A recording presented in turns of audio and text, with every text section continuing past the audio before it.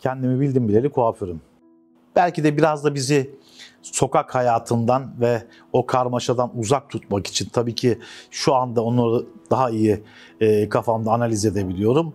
Hemen eve göndermeyip e, işte gel burada dükkanla biraz bana yardım et ile başlayan bir meslek hayatına giriş oldu. Orada pens tutarak, yerleri süpürerek, efendime söyleyeyim işte su kabı vererek vesaire böyle böyle e, bir şekilde kuaförlüğün içine girmiş oldum. Yılbaşında çalışırız, bayramlarda çalışırız, efendime söyleyeyim hafta sonları çalışırız. Yani o cumartesi pazar tatil kavramı bizde yoktu. Genelde pazar günleri de salonu temizlemeye giderdik babamıza yardım etmek için. Çünkü havlular yıkanacak. Efendim o salon adam akıllı bir yıkanacak, aklanacak, paklanacak, koltuklar silinecek. Ya bizim bütün pazarımız genelde böyle geçerdi kardeşlerle beraber. Benim derdim cumartesi de çalışmamak ve hani pazar günde rahat etmek. Saç kesme. Yani öyle uzaktan görüldüğü gibi değil. Bir şekilde e, müşterinin başında deniyorsunuz bunu. Yani tabii ki hani kardeşler birbirimizin saçını keserdik falan filan ama benim e, ilk makasla tanışmam mı anlatmak istiyorum. Bu benim için çok özel bir durum. Ee, çünkü o koltuğun başından ayrılamadım ben. ee, yine genç güzel bir müşterinin e, saçını devamlı ben fön çekiyorum. Çok da beğeniyor. Ee, bana dedi bir perçem keser misin dedi. Ben de e, aslında o zamana kadar hiç saç kesmemiştim. Fakat hani ne babama ne Ergun abiye hani Bilmiyorum o an hani belki de kıza mahcup olmamak için mi? Büyük ihtimal öyle. Yani hani e, çünkü beni bir belli bir şeye koymuş, belli bir e, sıfat başı yani e, gözünde belli bir noktaya koymuş. Saçını kesmemi istedi. Ben de tamam dedim, keserim dedim. Neyse gittim saçın önünü ayırdım. Ondan sonra nereden istediğini sordum ve parmağımın arasına alıp Saçı oradan kestim. Saç, parmağımı bırakınca saç yukarı çıktı. O an kaynar sar başımdan aşağı güldü. Aynanın önünden yani zaten ön taraftan kesiyorum. Aynayı kapatıyorum. Aynanın önünden çekilemiyorum kız görmesin diye. Ne yapacağımı da bilmiyorum. Orada yani benim için bir asır geçti. Yani e, ondan sonra alelacele içeri gittim ve babamı ya da Ergun abi hatırlamıyorum birine dedim yani böyle böyle bir şey yaptım ve saç çok kısa ne yapacağım dedim. Yani çok kısa oldu. Yapılması gerekeni söyledi. Üstten dedi biraz daha alacaksın ve ondan sonra onu dedi çok daha uzunlu keseceksin falan filan anlattı. Fakat ilk deneyimim ilk yani tepeden tırnağa kızardığım an ilk makasla tanışmam böyle oldu. Ve o uzun zaman bir travma yaşattı öyle şey yapamadım yani makası elime alamadım. Çünkü perçem kesmek aslında bizim meslekteki e, en zor, en detaylı kısımlardan biridir. Bunu da daha sonra ileride anladım ama ben de o kaval kemiklerine tekme yiyenlerdenim. Evet. Babam da olsa hiç şey yapmazdı. Yani müşterinin başında labaliyet, yanlış iş yapmak, hata, ondan sonra yani e, kulaklarımızın çekilmesi falan filan bayağı bir oldu. Yani e, demek ki Usul o zaman öyleydi. Ee, bir takım müşterilerin e, bazı özel günlerde bizi değil de daha böyle ismi duyulmuş işte Erdem Kramer gibi, Metin Bahçecik gibi yerleri tercih etmesi veya e, Muammer Bey, işte o zaman sonra Mos oldu. E, onları ki onların birçok müşterisi de geliyordu onlara servis ediyorduk. Neden diyordum bu böyle? Yani hani onlar marka olmuşlar.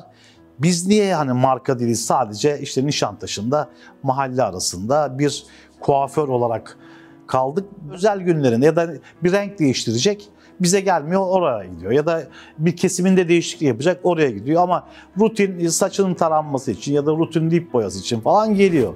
Bugün e, bu noktaya gelmemin en büyük sebeplerinden bir tanesi de Jean-Louis David'tir. Kendimi e, Diba'ya kabul ettirebilmek için e, şöyle bir yol izledim. Bunu da belki söyleyeyim herkese belki de örnek olur. E, çünkü e, 30'lu yaşlardaydım. Kendi salonum vardı. E, ve evliydim. iki çocuğum.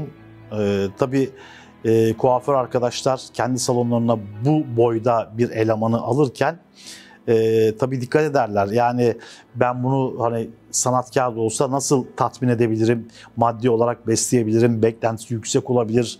Ondan sonra işte sorumlulukları var. Yarın öbür gün o sorumluluklar hani e, istek olarak e, iş yerine döner ve bunlara bizim cevaplamamız gerekir falan diye genelde e, bu boydaki arkadaşlar da pek salona almak istemezler. Daha genç yaştaki, daha sorumluluğu az olan insanları salonlara e, sokmak isteriz ki hani bu tip problemlerle karşılaşmayalım. Çünkü insanlarla tanıştıktan sonra gel demek kolaydır ama git demek dünyanın en zor şeyidir.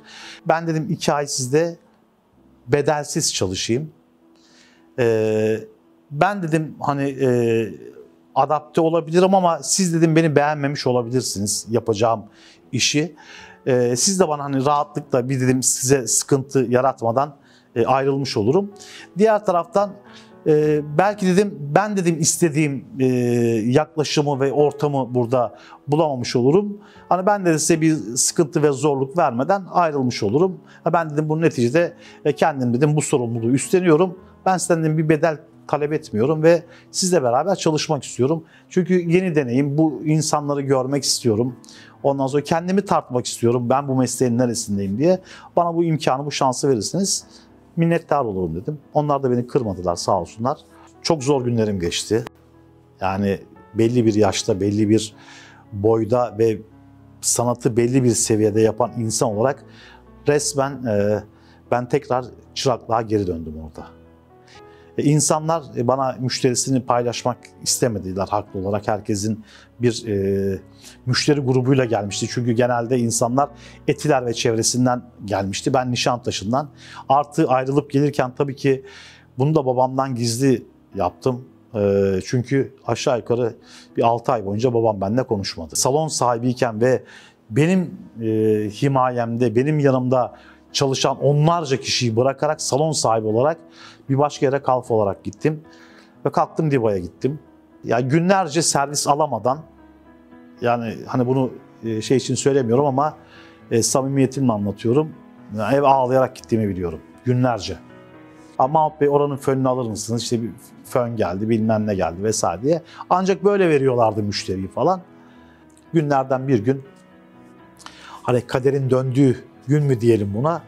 E, bir akşam e, bir arkadaş geldi ve dedi ki ben dedi bir çekim için dedi saç yaptırmak istiyorum dedi. Yapabilecek arkadaş var mı diye e, kasadaki arkadaşa söyledi. O da zaten kafasını çevirince geç saat olduğu için beni gördü. İşte Mahmut sen alır mısın dedi. Ben de tamam dedim. İşte dedi ki yalnız yarım saat sonra getireceğim dedi. Saat zaten yedi buçuktu. Yarım saat sonra getireceğim. Tamam dedim beklerim dedim. Saat 8'de geldiler. O söylediğim e, make-up artist arkadaş Burak Ertaş ismi. Onun da bende e, hakikaten e, katkısı çok büyüktür. Her zaman da yad ederim, anarım onu. Yanında iki tane Türkiye'nin o zamanki en ünlü mankenini getirdi. Bunlardan birincisi Begüm Özbek'ti. İşte ben dedi Begüm'ün dedi saçlarını yap dedi bir çekim için dedi. E, dergiye dedi şey yapacağım dedi. Şöyle bir saç istiyorum dedi. Bana anlattı ne istediğini. Ben de tam istediği gibi oturdum yaptım. Hayatımda dedi, ilk defa dedi, bir sürü dedi, kuaför dedi, tanıdığım var. Hep dedi götürürüm böyle çekim için dedi. İlk defa dedi, istediğimi tam dedi istediğim gibi yapan bir kuaförle karşılaşıyorum dedi. Valla ben de teşekkür ettim. E, mankeni aldı Begüm Hanım o gün götürdü dergi için çekime, şeye, e, fotoğraf çekimine. Ondan sonra ertesi gün saçının boya ve röflesi ve kesimi için getirdi bana. Tabii ertesi gün e, gün aydınlanmış. İşte öğlen saat 1-2 gibi dükkan full kalabalık. Kapıdan içeri Begüm Özbek giriyor. Büyük olay yani. Ondan sonra ben o zaman o, o kadar idrakında değildim bu hadisenin. Ee, herkes tabii koltuk çekiyor. İşte Begüm Hanım geldi bilmem ne falan filan. Tabii yanında dediğim gibi Burak Ertaş'la beraber geldi. Ee, makyaj yapan arkadaş da. Ondan sonra yok dedi ben dedi sizleri istemiyorum ben dedi Mahmut Bey'le çalışacağım dedi. Saçını öde. İşte dedi ya hani burada biz varız falan. Yok dediler. Biz Mahmut Bey istiyoruz. Dedi, dün akşam biz buradaydık. Çok dedi inanılmaz güzel bir saç yaptı. Ben o gün Begüm Özbey'in saçını boyadım. Kestim ve röfresini yaptım. O ayın kapağında çıktı. Büyük olay yarattı. Büyük beğeni kazandı. Abartmıyorum size bütün dergi alan koltuğun altına kapıdan içeri bir sürü insan Begüm Özbey'in saçı, Begüm Özbey'in saçı. O benim hayatımın dönüm noktasıdır. Babayla e, Diba'dayken barıştım. Çünkü o e, benim özellikle bu Begüm Özbek hadisesinden sonra dergilerde, mecmualarda ve birçok dergide ismim çıkmaya başladı. Babam, e, e, tabii ben annemden alıyordum bu haberleri. Eve dergiler alıp o gösteriyormuş işte bak bunu da bizim oğlan yaptı. Mahmut taramış bunu bilmem ne yapmış falan filan. Onları takip eder olmuştu. Tabii ki çok şey yaptı hani ben dedi sana dedi kızmıştım ama dedi sana hakikaten dedi bayağı dedi e, iyi bir kuaför oldun dedi. Ben de hakkımı helal ediyorum sana dedi.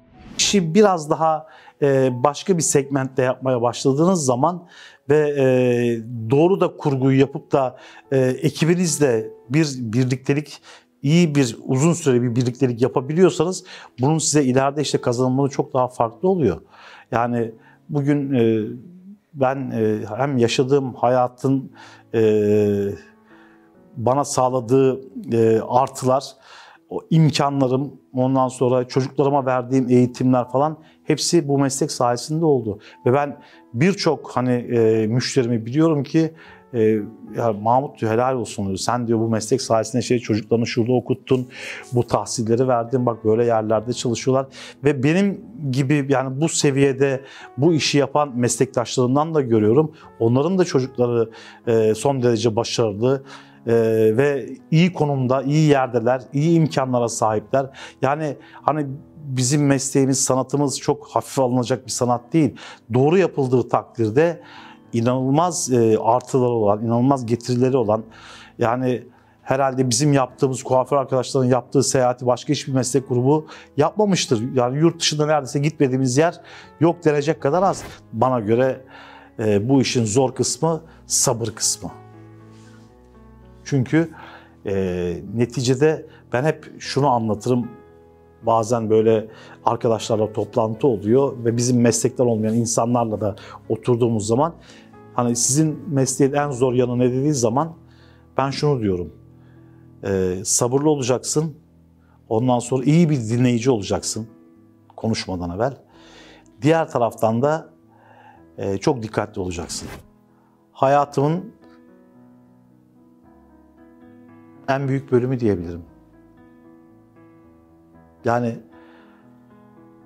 kendimi bildiğimden beri kuaförüm. Herhalde kuaför olarak da öleceğim yani. E, en hoşuma giden şey de bir ara egomun tavan olduğu zamanlarda kendi kendime şunu söylüyordum. Ben annemin kadınlara bir hediyesiyim. Çünkü çok mutlu ettiğim insanlar oldu. Tabii ki e, öncelikle babama çok teşekkür ediyorum.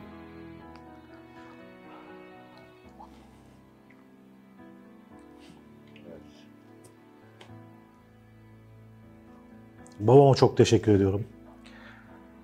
Babamın ortağı Ergun abiye çok teşekkür ediyorum. Hepimiz bu meslekteniz. Meslekten olmayan bir tek annem. Anneme çok teşekkür ediyorum. Bizlerin kahrını çektiği için. Çünkü işten hepimiz yorgun geldiğimiz zaman her zaman bizi yine pırıl pırıl o işe gönderdiği için. Kardeşlerime ben çok teşekkür ediyorum. Dediğim gibi kendileri çalışırken benim okumama vesile oldular. Ee, bu gelişimde e, yine yol alırken e, her ne kadar ayrılmış olsam da ayrılmış olduğum eşime de teşekkür ediyorum. Onun da çok emeği var. Ee, o da hiçbir zaman desteğini bizden esirgemedi. Beraber mesleğimi yaparken e, bana e, asıl sıçramamda katkı sağlayan Hakan Köse'ye teşekkür ediyorum. Hakan Köse'nin de çok büyük e, hatrı var bende. Çünkü e, diğer insanlar pek benim Diba'da çalışmamı istemezken Hakan Köse e, ben dedi arkasındayım, ben dedi kefil oluyorum dedi. Bu arkadaş dedi bizimle dedi e, çalışabilir dedi. Hakan Köse'ye buradan bir kere daha teşekkür ediyorum. Meslek büyüklerim var. Ee, onların e, yapmış olduklarını takip edip ben de onlar gibi olabilir miyim dediğim işte bir Erdem Kramer, bir Muammer Yaprakgül, bir Metin Bahçecik ekip arkadaşlarım var. Uzun yıllardır benimle beraberler ve hala da benimle beraber çalışmaya devam ediyorlar. Onlara binlerce kere teşekkür ediyorum. Benim de bildiklerimi, tecrübelerimi aktarmamda bana platform sağlayan Kuaförler Derneği ve oradaki arkadaşlarım var. Binlerce müşterim, binlerce dostum diyebileceğim insanlar var. Onlarla beraber iyi ve güzel günleri, kötü günleri, bazen e, benim sıkıntılı anlarımda e, istediğim işi belki ortaya koyamadım ama yine de e, benden vazgeçmediler. Benim salonuma gelmeye devam ettiler. E, Mahmut bugün iyi gününde değil dediler ama bir sonrasında yine bana saçını gidip kestirdiler. Onlara çok teşekkür ediyorum. Ve tabii ki günün sonunda sevgili eşim Çiğdem'e de çok teşekkür ediyorum. Hem benimle yol arkadaşlığı yaptı, hem hayat arkadaşlığı yaptı.